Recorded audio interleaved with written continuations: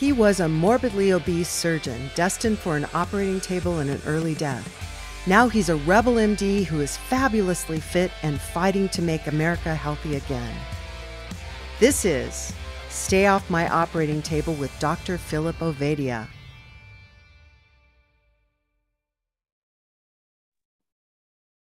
And we're live. Hey, folks. It's a Stay Off My Operating Table podcast with Dr. Philip Ovadia. I'm the uh, uh, the representative of the great unwashed masses, Jack Heald. And Phil, tell us about our guest today. Another uh, great conversation we're uh, set up for today. Uh, real excited to have Ben Azadi on. Um, ben is, uh, I would say, one of the leaders of the sort of keto movement and really has one of the largest keto communities, keto followings Uh, out there. Um, and uh, really excited to just kind of uh, get his perspective on, let's say, the lay of the land around the metabolic health space. but with that, let me turn it over to Ben so he can give a little bit of your background. Uh, I think much of my audience is probably familiar with you, Ben, but um, I'm not. Yeah, kind of let us know how I had to got. look him up. I didn't know who this guy was. So yeah, yeah. yeah. Give us so, give us four one one. Let's fix that. How you got here? Yeah, uh, Philip, thank you for having me. I love what you're doing, and uh, it's an honor to be on your show. So thank you first and foremost. My my backstory is like so many people out there following a standard American diet here in America, growing up here, and really unhealthy growing up. I was obese as a kid, physically and also mentally obese. So I was depressed, low self esteem. I became my environment, and I really believe we become our environment. My environment was really toxic growing up. I hung out with the wrong crowd, and they sold drugs and did bad things, and that was part of my life growing up. And my parents did the best they they could do with the their ability and their awareness. And my parents were divorced, and I was pretty much left alone all the time.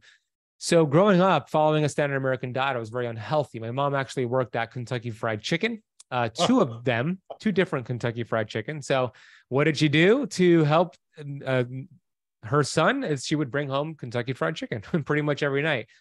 And she actually told me because there were some some nights when she got home where she didn't bring home Kentucky Fried Chicken, um, and I would say, "Mom, where, where's the chicken?" I was looking forward to it, and she said, "Oh, I only bring it during the first seven days after they've changed the oil, but after that latter second second uh, week that they don't change the oil because they change every 14 days, I don't bring it because the oil is too dark, the canola that they fry in. So they changed it every 14 days, and she only brought it during the first seven days, which is insane. So she um, was looking out for your health. She was. Yeah, there you go. She saw that it turned dark and she didn't want to bring that to me because they were oh, refrying it over God. and over. But, you know, as an adult, this transferred into my adulthood. Uh, I was 24 years old back in 2008. And I was going through a really difficult time in my life. I was working at a job that was really uninspiring. I was a manager at a packing and shipping store here in Miami. I was depressed and going through a really difficult breakup and I had food addiction, sugar addiction, video game addiction, um, drug addiction. And I was filling this void with these bad habits. And I wanted to end my life. I was actually looking for ways to end my life back then. But I kept thinking about my mom every time I explored suicide, and it, and it stopped me because I didn't want my mom to deal with so much pain if I took my life. So I knew I had to figure things out. And a, my friend, my best friend, handed me a book, a book called The Slight Edge by an author named Jeff Olson. And I read the book, and the book taught me about daily habits and how daily habits compound over time to get you your results in life, whether it's good or bad. And I started to understand that I'm in this place physically unhealthy. I weighed 250 pounds at this time, physically unhealthy, depressed, unhappy, broken, broken. Not because this happened overnight or even over the last month. It was a accumulation of all these bad decisions and behaviors that I made over the last several years that have compounded into me feeling this way. So I connected those dots and it helped me understand okay, if I did all that, which accumulated and compounded into all this negativity, what if I made some changes in the opposite direction and compounded that to a positive uh, progression? And that's where I started to just move my body, started to eat real food. I started to read other books like Dr. Wayne Dyer and, and um, Tony Robbins and Bob Proctor and all these authors that really helped my, with my mindset component. And I took ownership and responsibility. I think that's the first step for great change and most people don't really understand what the word responsibility means. And to me, it means your ability to respond to life. Up until my 24 year, uh, for those 24 years of my life, up until then, I was responding very poorly. I was the victim of my genetics, of my enabling family member, of my slow metabolism, or whatever, you know, stinking thinking thought that I had back then. But once I took ownership and responsibility, I stopped being the victim of my history and I started to become the victor of my destiny.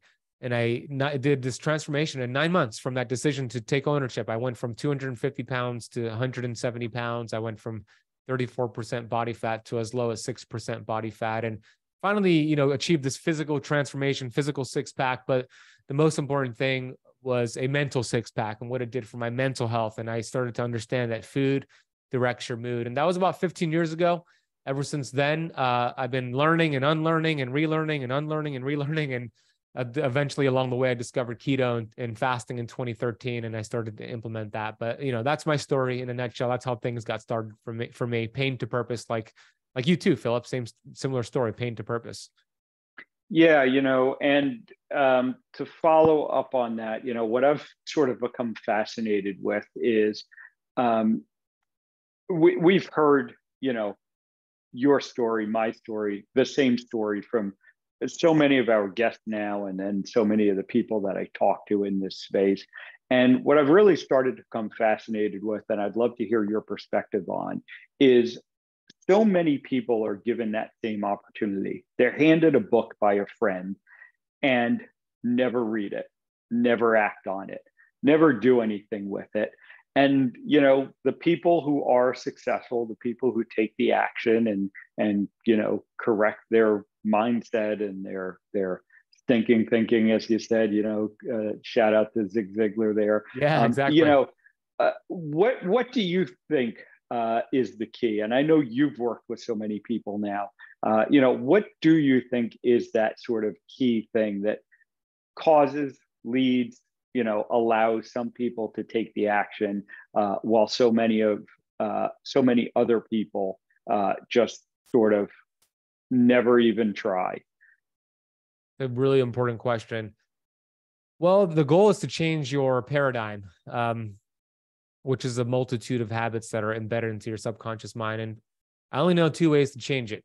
Either it's an emotional impact that changes the way you think and changes your your progression and and and it forces you to take responsibility, or it's the progression, it's, it's daily habits over time.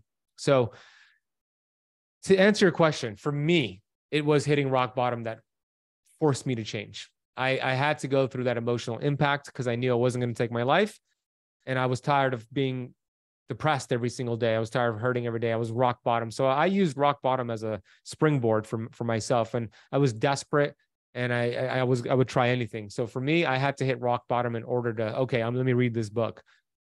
Ideally, we don't want to have to go that route. We want to be proactive, not reactive.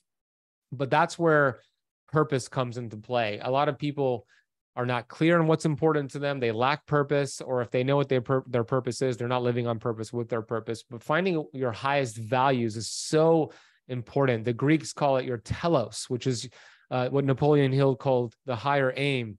Uh, and there's also a field of study called teleology, all about the study of purpose and highest value. So that is a very easy, better way, a proactive way to make a change to pick up that book and read that book is when you get clear on what's important to you and then you look at your life and look at the things you're doing and it's not aligned with your purpose then you make some changes. I, I believe that's probably the best way but i'm curious your thoughts doc. Yeah for me it uh, it's exactly that. It comes back to purpose. It comes back to the why. And you know it's interesting how much i find myself uh, focusing on that these days with you know the patients that are coming to me. And you know most of the time you might go to the doctor and they'll be you know asking about the medical stuff. They'll be you know uh, you know looking at your labs and reviewing the studies. And maybe you know if you have a doctor who's actually a little unusual maybe he'll even ask you you know what you're eating what you're doing your activity. Uh, but what i find the most powerful question i ask my patients about these days is why you know why did you come to me why do you want to improve you know uh, whatever it is, prevent your heart disease, reverse your diabetes. Uh, and when we really get to that why, and they're really solid on that why, that I find is probably the biggest predictor of success anymore. Completely agree. Uh, Jim Rohn said it right. When the why is strong, the how becomes easier. It's so important to get clear on your why. I agree. You know, I'm I want to throw a question to both you guys because the the audience for this particular podcast is a little different than the audience for, say, Joe Rogan. Um, people are listening to this podcast or watching this podcast because they're in a place that they'd like to move from and once somebody has has has grasped the what what has to happen to change? Um, they might continue to listen to us but they're probably going to listen to joe rogan. So for both of you what would you say to those folks who are listening and still haven't been able to either find that why? How do you find the and and i'm asking you to, to draw not just on your personal experience how it changed for you but as you've worked with clients each of you what what kinds of things really help people to to get over that hump to to break through that barrier mm-hmm. yeah you want me to ben, go you first? go first okay yeah well your environment is really important here because if you're hanging around people who are not clear on their why who are unhealthy, unhappy, they're broke, they're miserable, they're doing bad things, it's going to be very hard to make that shift and get clear on your why. So I would say number one, do an audit on your environment. I'm talking about your friends, your family members, your coworkers, everybody in your life. And I would put them into two different categories. This is what I did, and this is what I teach, teach my students. On one side of the, let's say you draw a line down a piece of paper. On one side, you'll write down the word drainers on the other side, you'll write the word chargers. And then you'll think about the people in your life and put them into those different categories. If somebody's a drainer, they're gossiping, they're not supporting you in your goals and your mission, you feel drained after you speak to them, you put them on one side of the piece of paper. If somebody's a charger, they support you. You're energized when you speak to them. They're rooting for you. You put them on the other piece, uh, the other side of the piece of paper, the drainer side. And then once you're clear on that, do that audit. You want to spend the majority of your time with the chargers and less time with the drainers. That's going to help make this decision much, much more easier. And then the second thing would be all right, now that you've done that, you cleaned up your environment, now it's important to figure out what your highest values are. And you asked the question, Jack, like, how do you even determine that? For me, it's, it's, when I started to notice I would talk about something and I could talk about this subject for hours. I could go into the middle of the night talking about this certain topic with a friend. I'm lit up. I'm I'm charged up when I speak about a certain topic. So for me, it's self development it's keto, it's metabolic health. These are the things that light me up. For somebody else, it might be, you know, sports or it might be whatever it is, business, finances. But whatever you find yourself energized, like time is just flying by, that's usually a clue that you're in that zone of genius. And that's something you should lean into when you feel inspired versus motivated, because motivation is something that's external that needs to happen to you in order for you to get started with something that's very fleeting. But inspiration is from within. That word inspiration is um, something that you are excited about that you are in spirit. That's what inspiration means. So i'd pay attention to those different clues there and that'll get you down the path of your highest values i believe. Yeah i think that's some great advice. You know uh, my uh, i guess you could say technique for getting to the why and i forget who this comes from uh, but it's the you know it, it's keep going to that deeper level of why and and you you know i think the the uh, statistic is you have to kind of ask why seven times to really get to your why mm-hmm. and you know at first when you ask them why are you doing this and you'll get you know an answer that might be a little bit superficial uh, you know, I want to be here longer for my kids. And then you'll say, well, why is that important to you? And then, you know, you kind of repeat that a couple of times. And then you really, you know, when you get to that why that it kind of takes them a little while to think about and to come up with, I find that, you know, that's the real power there.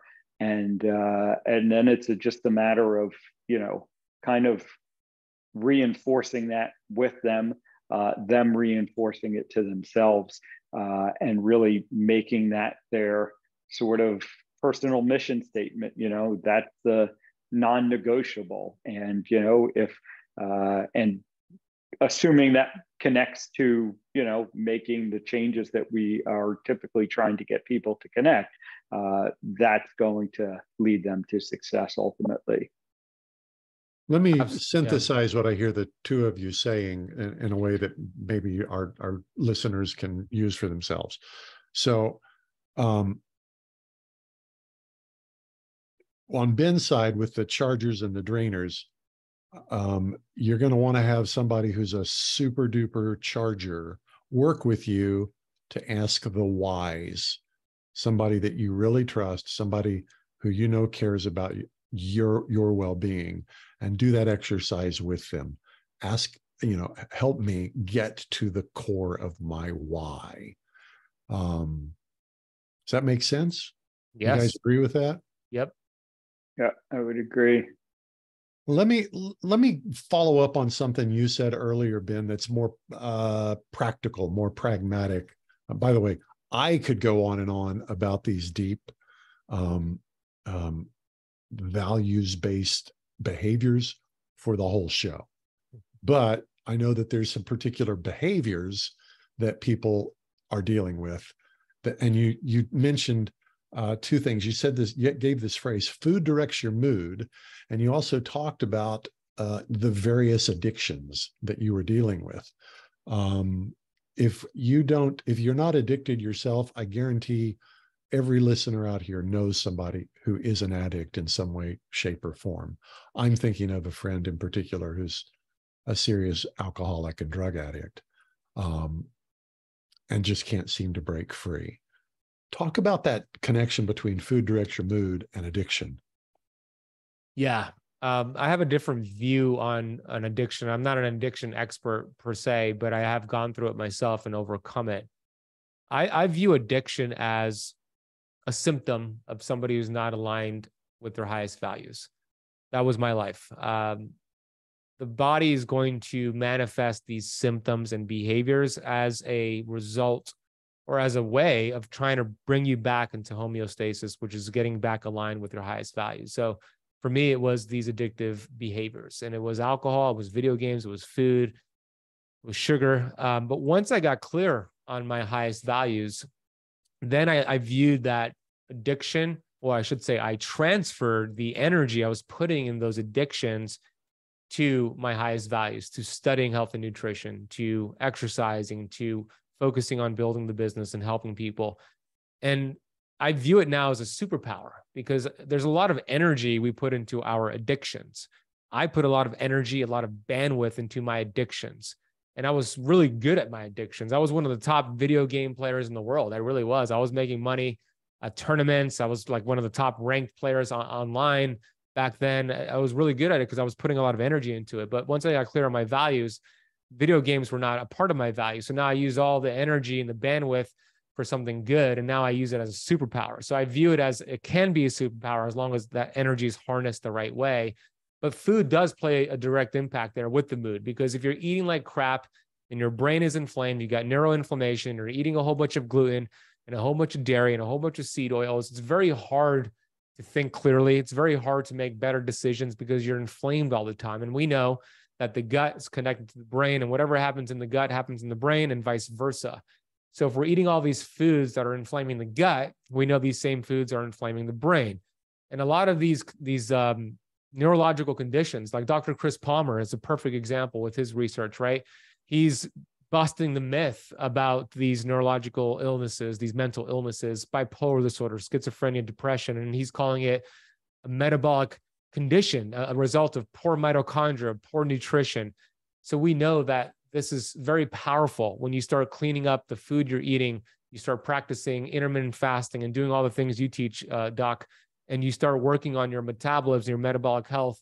It's going to impact your thoughts, the way you think, your, your mental state directly. And I saw that 15 years ago before I knew any of the research. I lived it myself. So I view addiction as a superpower as long as you could harness that into something that's that's good for you in the society in society Okay, I you said so much there that I wanted to I wanted to ask more questions about. Um, addiction is energy directed.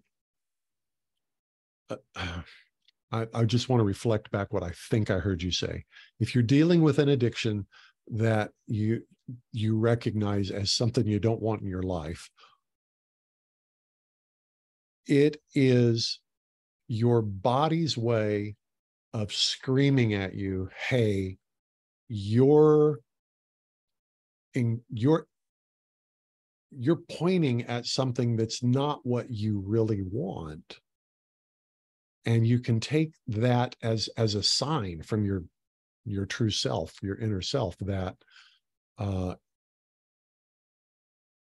you're not directed towards your your highest values but rather than trying to resist, oh, I can't do this, I can't do this, I can't do this, whatever it happens to be, if you look at that, the energy that you're pouring into it as a blessing, just it's just pointed in the wrong direction.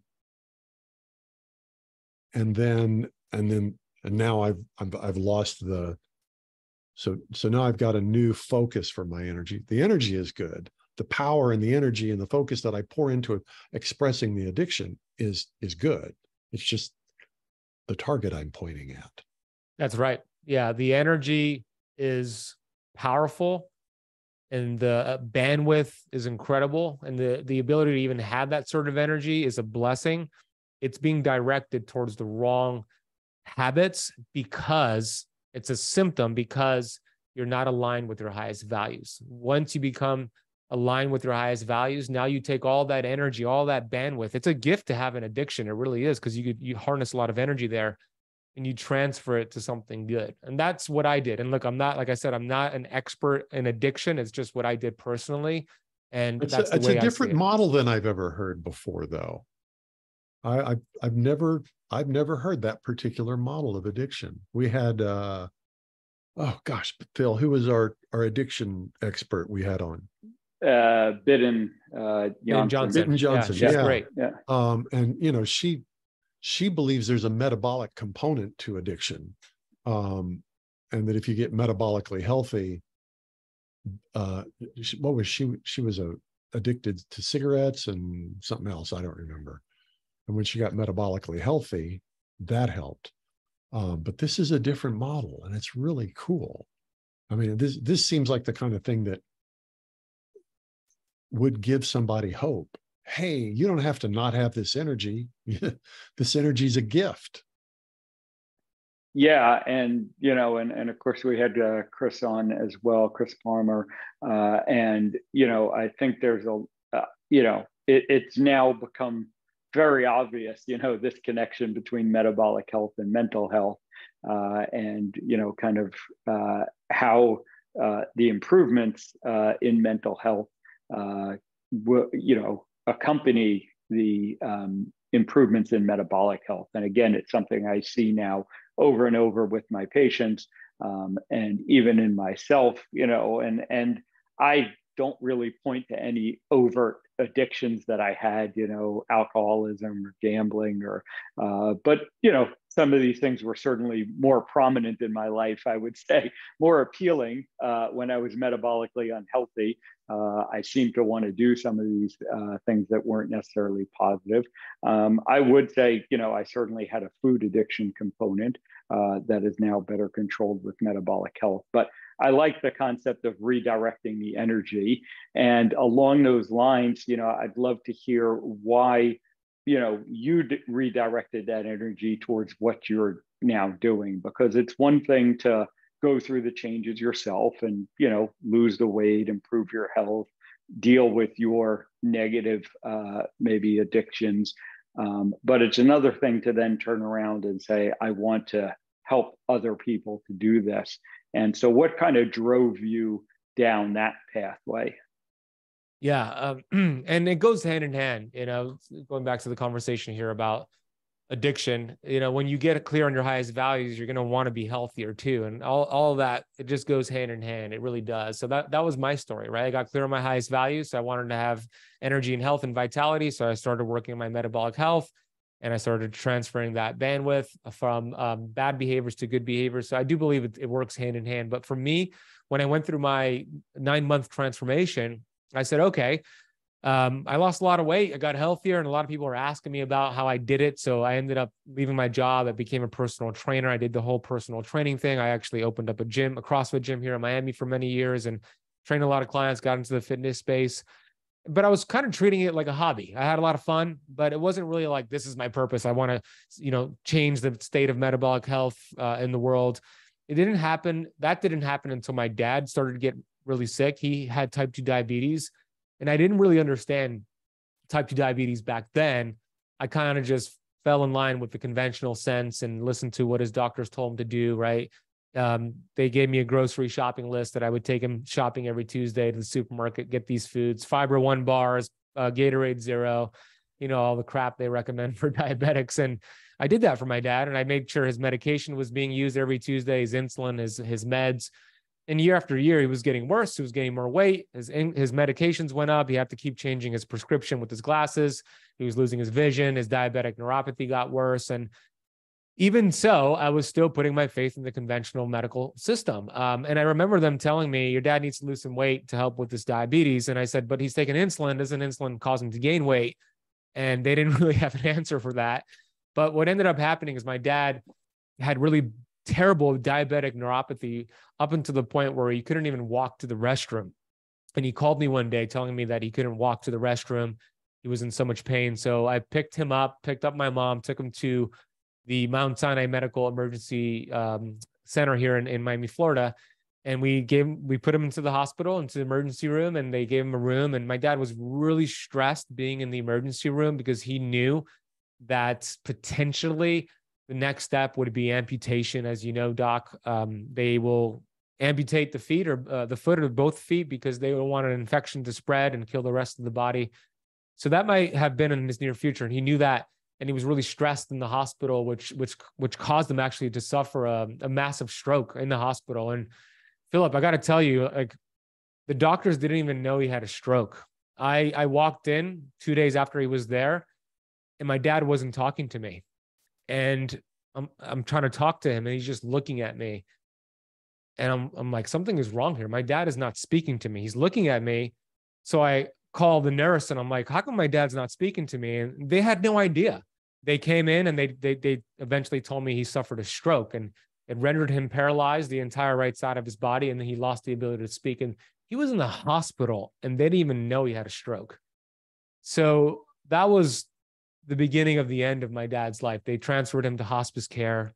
And for nine months, I visited him every week, a couple times a week. And eventually he ended up passing away nine months after that. And that's what really took this hobby of health and nutrition to a, a pain to a purpose because I started to really dig into the research and I had a lot of questions. I was really pissed off and I realized they were never trying to reverse my dad's condition. They were never trying to get to the cause and he lost his life and suffered as a result. And I didn't want that for other people. I knew that it was preventable, it was reversible. And now the, the same info that I that I teach and, and write about and speak about is the same info that would have uh, potentially saved his life. So I look at it as this. I was given that mountain so I could show the world that the mountain can be moved. And that's why I'm so lit up because I know that what we teach prevents what my dad went through. And even if you have type 2 diabetes, we could work on reversing it, which is something the doctors never told me to do. So that's where it really um, turned into a purpose for me. That's yeah. Fantastic story. yeah, I know it is. Uh, and, and, one that I've unfortunately heard too often. Um, and um, it just, um, it, it, I think it really crystallizes the mission that we're all on uh, to try and make sure that that doesn't continue to happen to more people because unfortunately it is something i see uh, nearly every day uh, you know happening within our mainstream within the medical system. Um, and again it, it i come back to you know there the the system is just so overwhelmed taking care of the burden of disease, uh, and uh, unfortunately, no one's asking what should we be doing to get less sick people. Uh, it, it's all about you know efficiencies of care and trying to improve the care and more medications to manage the problems instead of why are people getting so sick in the first place and what can we do to change it.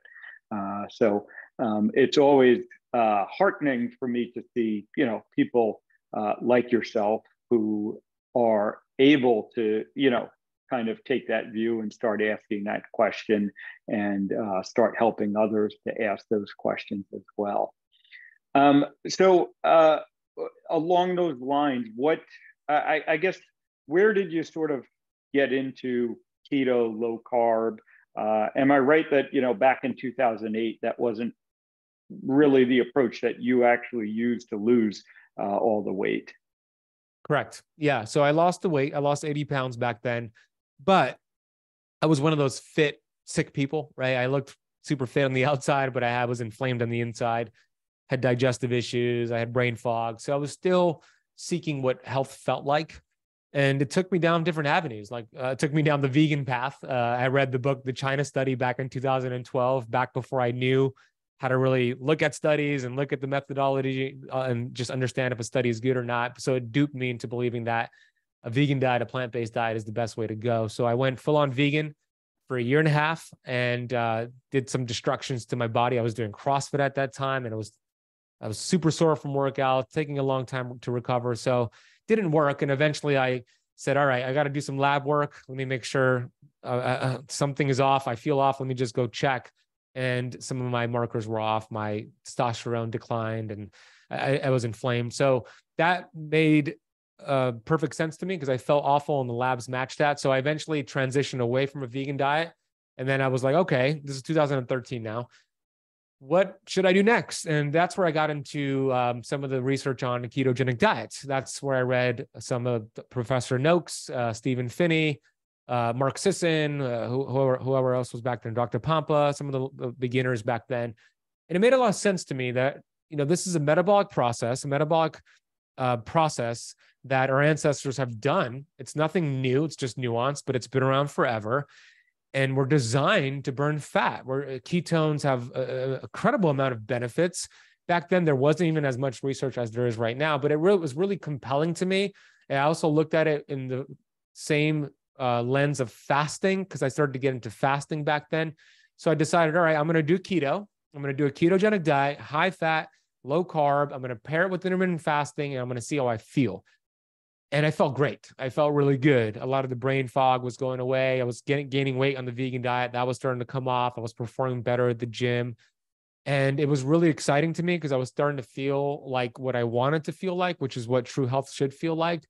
And ever since then, um, I've learned a lot about keto and, and fasting and eventually learned more about carnivore. I know you're a big fan of carnivore and I've learned a lot of things and I did a lot of mistakes with it, things that I wouldn't teach anymore. But I see it as a really incredible tool. It really helped myself. I've, it's helping so many of my students, and I love okay. it. And I, I don't you really tell us it. about your mistakes. Yeah, I'll tell you about the mistakes. And I don't really view it as a, a as a diet. I really don't. I, I view it as a metabolic process that we're all designed to go through. You know, the 88% of American adults that are unhealthy, I call them essentially they're in a keto deficiency. They, they need to get into this process. So yeah, I'm happy to talk about the mistakes if you want me to. Yes, because there's folks out here, me, for example. Yeah. Uh, who would prefer somebody else to make the mistakes and learn from them rather than make them ourselves. That's the best way, isn't it? Yeah.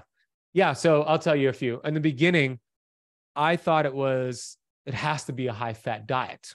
And that's because when I looked at the percentages of the macros, like 85% fat, 10% protein, 5% carbs is one variation.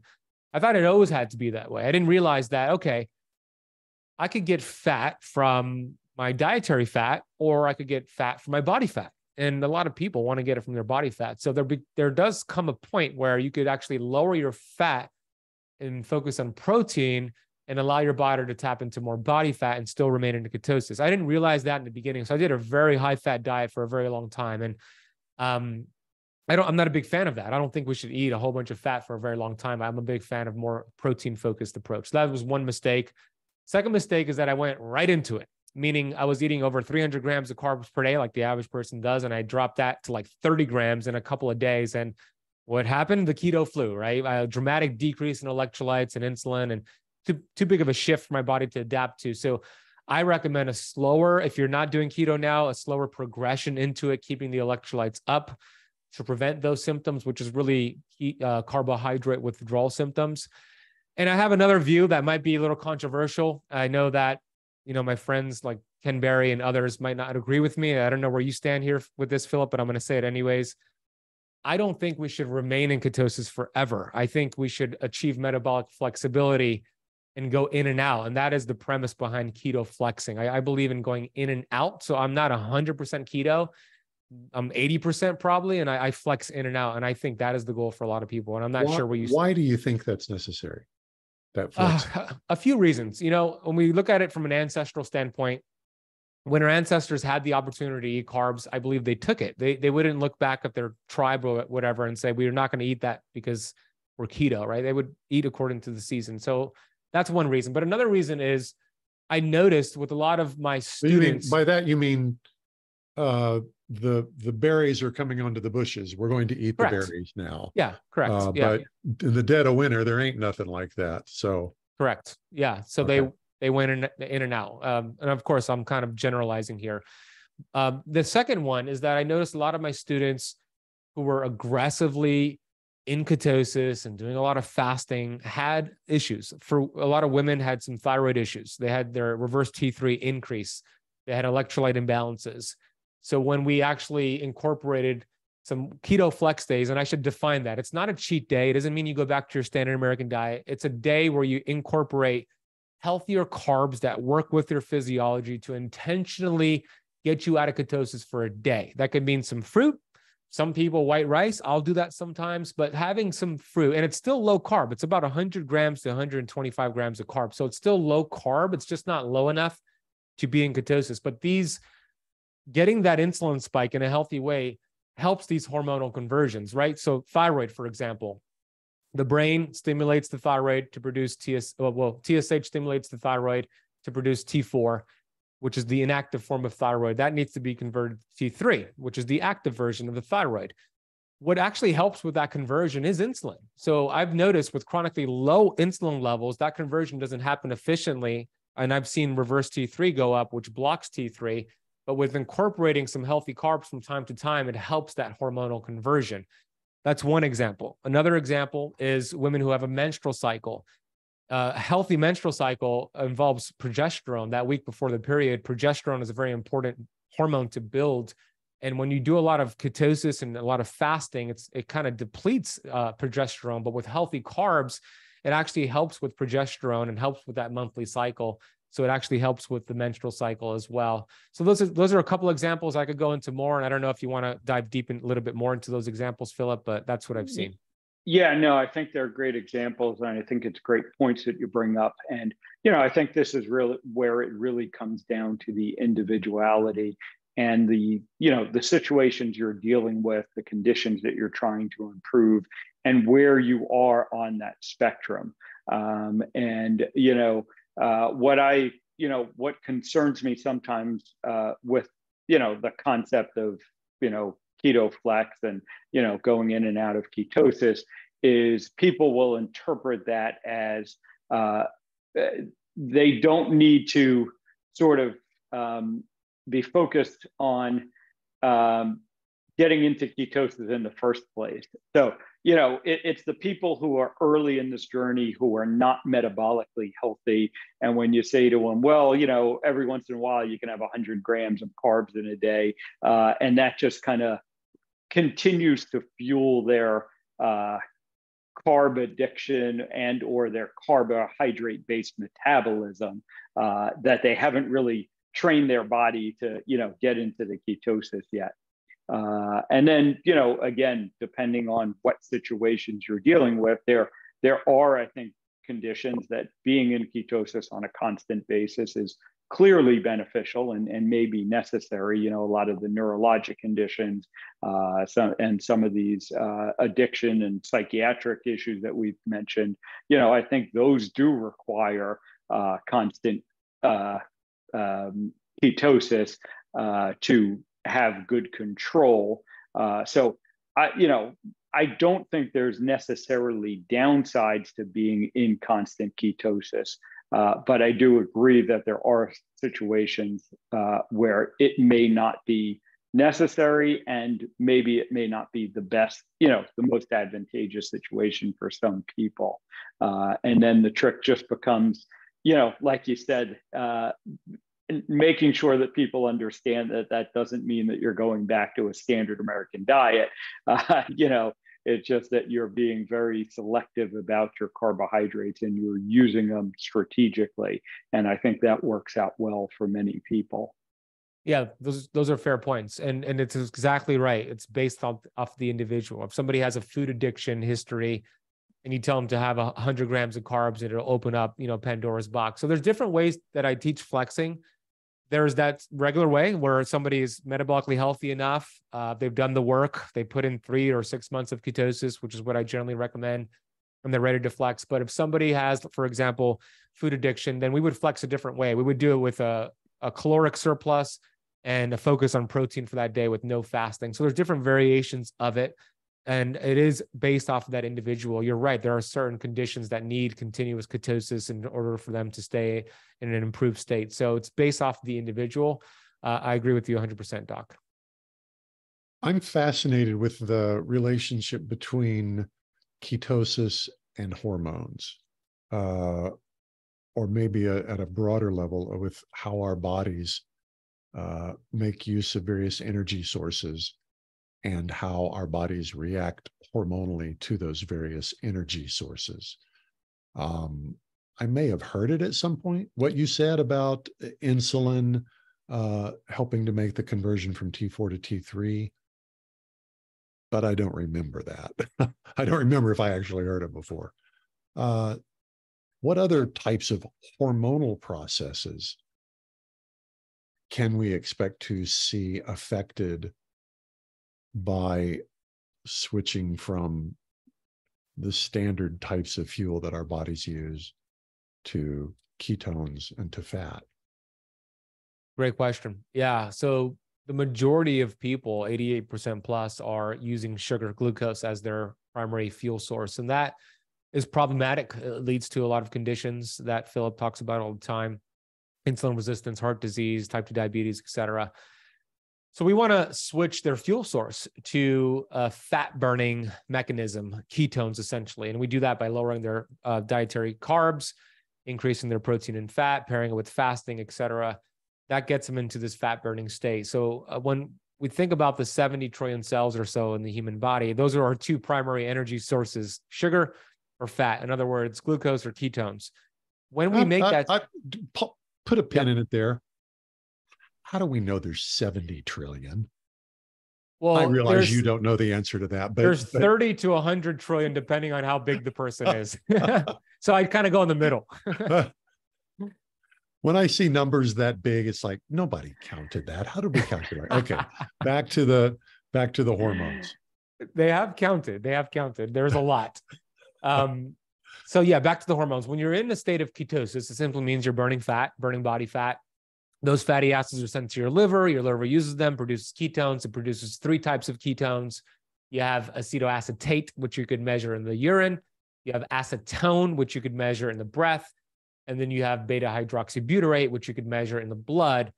I would say the gold standard of ketone testing is looking at the blood beta hydroxybutyrate. That's the, the one ketone that has the ability to cross the blood brain barrier and give the, the brain a, a valuable fuel source. But I'm going to explain what, what it does from a hormonal aspect, but I believe before I get there, I believe that we're designed to burn fat. We really are. Babies that are breastfed, babies that are born into this world and breastfed are actually in a state of ketosis because breast milk has saturated fat and cholesterol, and it helps that baby's brain develop.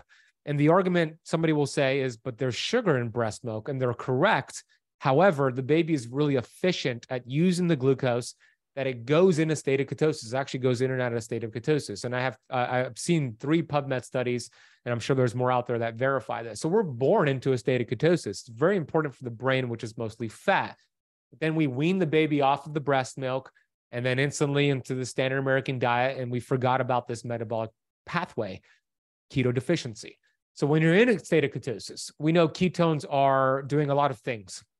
They communicate with your mitochondria, they signal to them to produce more mitochondria, mitochondrial biogenesis. And the mitochondria are very important because they're responsible for producing energy. And there's also an intelligence to the mitochondria. These are the energy production factories of the body. Correct. We've learned it like as the power plant of the cells, right? But they produce ATP, which is our, our the gasoline of the cell, energy currency. But the mitochondria are, are more than just like a mindless energy factory. There's an intelligence to the mitochondria. And a lot of diseases and conditions, to Chris Palmer's point, right, it's a mitochondrial dysfunction issue. So with ketones, it creates more mitochondria. It, it helps the cells produce more energy. When we look at the electron transport chain, and Philip, you could correct me if I'm wrong or at any point. When we look at the electron transport chain and we see a molecule of glucose versus a molecule of ketones, we see that glucose is getting us about 32 to 36 ATP molecules. When we compare that to ketones, we see over 120 ATP molecules, which is about 400% more energy. And that is because of the creation of new mitochondria. And that is beneficial in a lot of ways because when you're producing more energy, obviously you're going to feel better, but also it raises your basal metabolic rate. So you burn more calories just sitting on the couch. But there's also a component where ketones burn cleaner. They help the mitochondria uncouple, which essentially means it helps it get rid of free radicals, reactive oxygen species. It helps your cells lower inflammation. So it's a really cool process where you have more energy, less inflammation. And when there's less inflammation around the membrane, now your hormones could attach to those receptor sites, these integral membrane proteins, and do their job more efficiently. I'm going to stop and see if Philip wants to add anything to that. Yeah, I, I think the uh, sort of mitochondrial efficiency part of this is real key, and it's something that you know maybe people don't necessarily understand. Um, and uh, you know, uh, one other point that I, I want to go back to that I think is important, uh, also for people to understand, is uh, the uh, you know, you mentioned that babies are in ketosis essentially when they're being breastfed, and that um, you know, the concept of being in ketosis uh, will automatically make you lose weight or that you can't gain weight when you're in, in ketosis. Uh, and, and, it's important for people to understand that, you know, ketosis means that you're burning fat for energy. It, it doesn't necessarily tell you anything about uh, that you can't gain fat or you can't gain weight uh, when you're in ketosis. Uh, some of the features that you mentioned are what uh, make it a lot easier to lose weight when you're in ketosis. You know, the increased energy production, the uncoupling of the mitochondria, which leads to increased uh, uh, heat production and, and raising that basal metabolic rate, uh, appetite suppressant effects of ketones, um, all you know make it a great tool for weight loss uh, for people who need to lose weight uh, but uh, I, I, think that sometimes there's this false conception out there that just, you know, being in ketosis means you're losing weight. And uh, the two don't uh, necessarily go together. Um. But like you said, you know, ultimately, um, it is a tool that our bodies can use and should use. And I think one of the, you know, big issues uh, that we've got into in our modern uh, environment is that most people never get into that state or never you know experience that state uh, because you know we always have an abundance of food for the most part and it's mostly high carbohydrate food and our body uh, uh, um, essentially you know will burn carbohydrates first uh, and again, this is misconstrued. You know, the reason that our bodies burn those first is because they're toxic, and we need to get rid of them. Um, and uh, you know, whereas uh, some of those that are in the, I guess you could say, anti-keto camp will say, well, you know, obviously, you know, our bodies prefer it because if you have glucose present, you're going to burn that, you know, and you won't go into ketosis. Uh, so a, a, lot to dig into there. I want to I want to make sure I understand because yeah, you both have talked about something that again I haven't heard before. Um, that ketones are cleaner burning than glucose. Just make sure I've got it right here. And the reason for that is when we use glucose as fuel, the byproduct of burning that fuel is free radicals, which are inflammatory. Am I did I do I get that? Did I get that right? Yeah. Yeah. Uh, yep, pretty much got it right. Reactive oxygen uh, species, you know, is sometimes what you'll see them referred to, uh, but free radicals, and that's exactly it. That uh, you know, burning glucose when you really look at the, you know, I would say the the science and the data objectively, um, burning glucose is our last resort uh, for energy, is sort of the body's last resort for energy, and is, you know, as Ben alluded to, uh, the least efficient uh, way that we have to produce energy. Yeah, exactly. And I would say, Jack, um, an analogy that helps people connect the dots with the with the glucose versus fat burning is think of glucose as burning firewood, right? If I burn firewood here in my office, you have all this smoke. Think of fat and ketones as a gas stove, right? It doesn't have as much smoke. It's a much cleaner source of energy. So, at a cellular point, a cellular level, it's much more efficient to choose fat and ketones, a gas stove versus firewood, which would create all this smoke.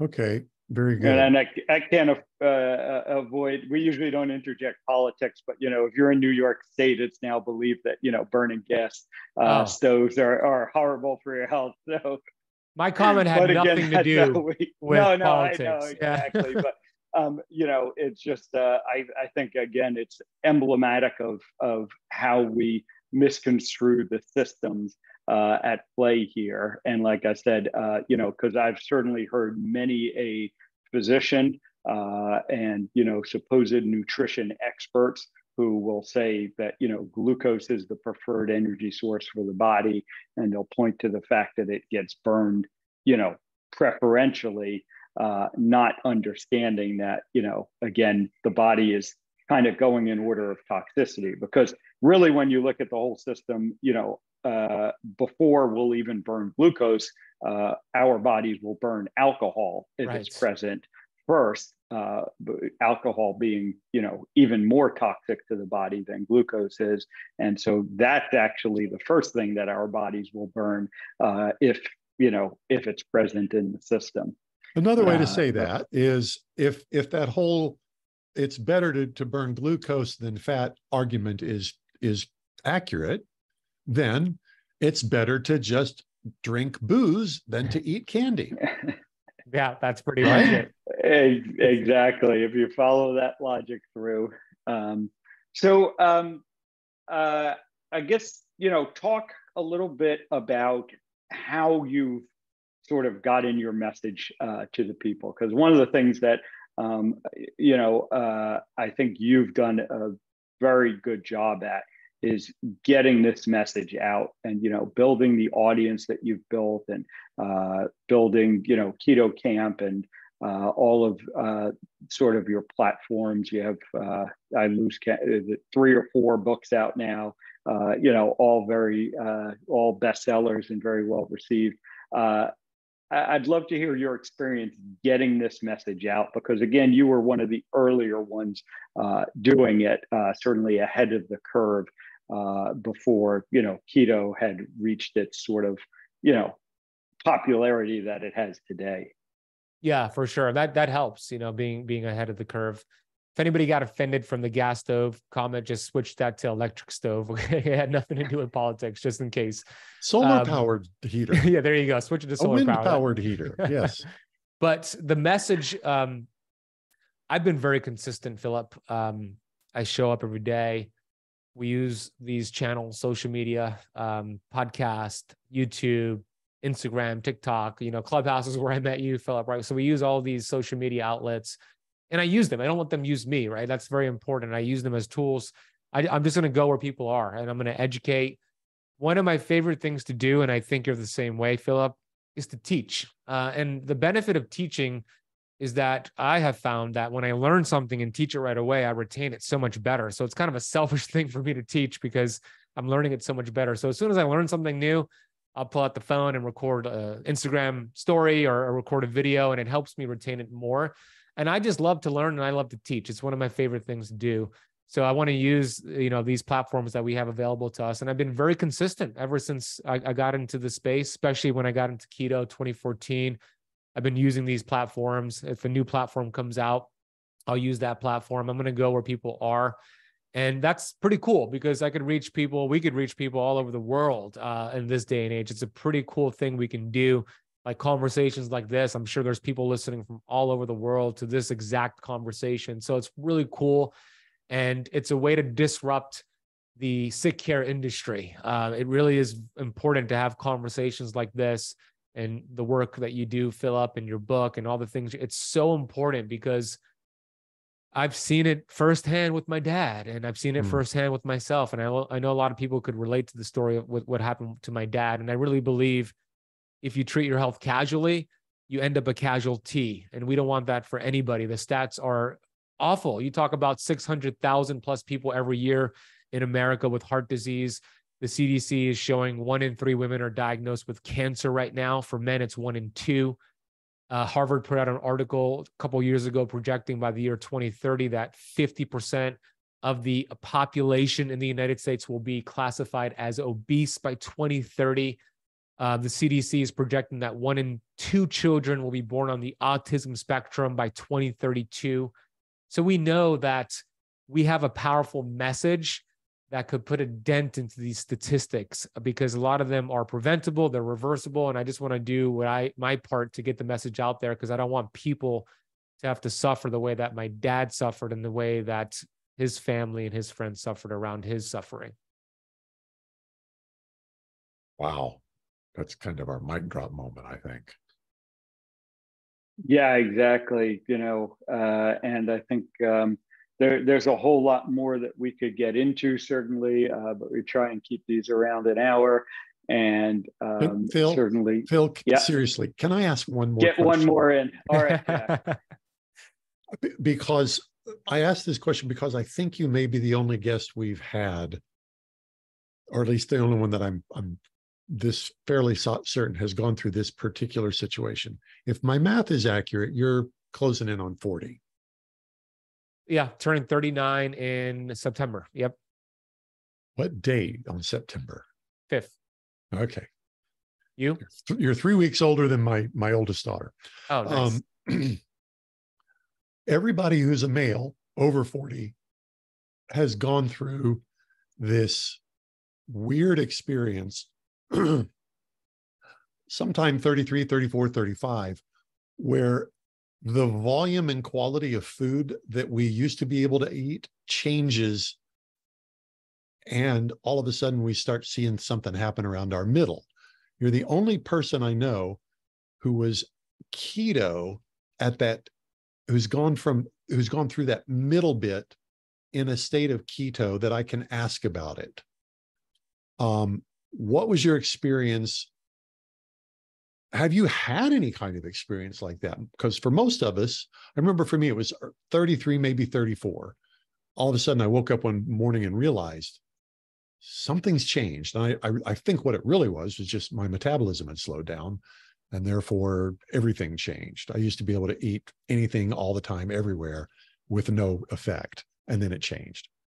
So, have you, did you go through that? And you've, and I know you've got a lot of, a lot of clients have you seen your clients go through that and what's been the effect? I have seen it. Um, for myself, maybe I've noticed some changes and I'll just make some tweaks, you know, a little bit more fasting, whatever, and it gets rid of like any any extra fat. So not so much for myself. I've been pretty lean since I went through the initial transformation about 15 years ago. But for clients, yeah, and I think the the name of the game would be to mix things up. Every every great personal trainer and fitness coach understands that in order to get their clients amazing results long term, they have to constantly change up that workout routine. So one week would be high reps, low weight. The next week would be the opposite, different movements, et cetera. Keeps the body adapting. So I look at the same way with keto and fasting. If you're doing the same fasting schedule every single day. It's time to either do more fasting or maybe some less fasting. If you've been eating the same foods day in, day out, I like to introduce different foods. So carnivore is a big tool there.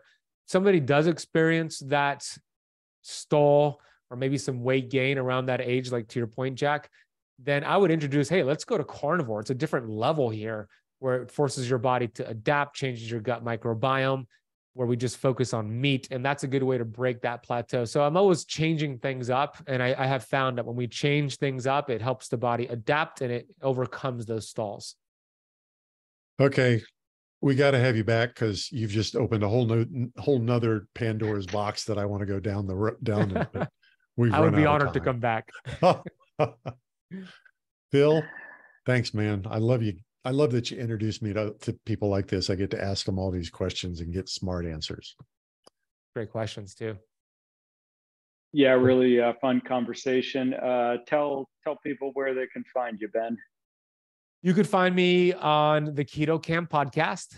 Phil was just on there. Um, so listen, start with that episode, Keto Kamp, Kamp with the K. And then my website is benazadi.com. You could find my books and social media on there as well. All right. Well, we'll make sure all that contact information shows up in the show notes. For Phil Ovadia, for Ben Azadi, I'm Jack Heald. This is a Stay Off My Operating Table podcast. We'll talk to y'all next time. Chances are you wouldn't be listening to this podcast if you didn't need to change your life and get healthier. So take action right now. Book a call with Dr. Ovadia's team. One small step in the right direction is all it takes to get started contact us at ifixhearts.com slash talk. That's ifixhearts.com slash talk.